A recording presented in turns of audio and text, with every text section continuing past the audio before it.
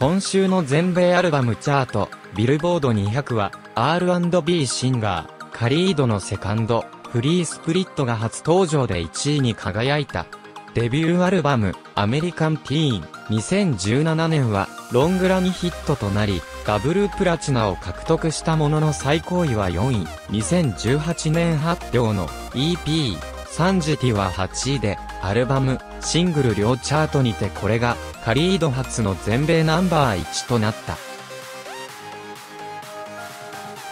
カリード画像。初週20万2000ユニットを売り上げ、アリアナ・グランデの thank u, next、36万ユニット、ビリー・アイリッシュの When We All Fall Asleep, Where Do We Go, 31万3000ユニット、バックストリートボーイズの DNA、23万4000ユニットには及ばなかったが、男性ソロアーティストとしては、現時点、2019年最大のウィークリーセールスをマークした。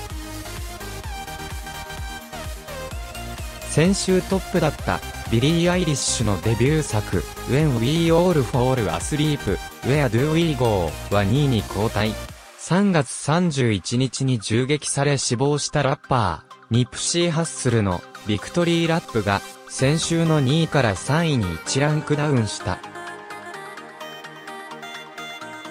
今週は1位のカリードほか、サラバレリスの6枚目のスタジオアルバム、アミドスとザカオスが6位、カントリーデュオ、ブルックスダンの11年半ぶりのアルバム、リブートが8位に初登場している。